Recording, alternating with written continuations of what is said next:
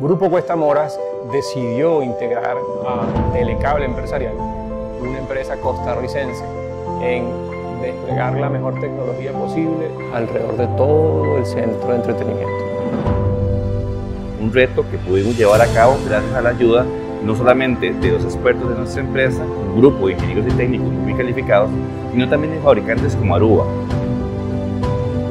aproximadamente se hizo un despliegue de 120 equipos donde contamos de los 345 y 365, adicionalmente tenemos en exterior los 375 para zonas más amplias.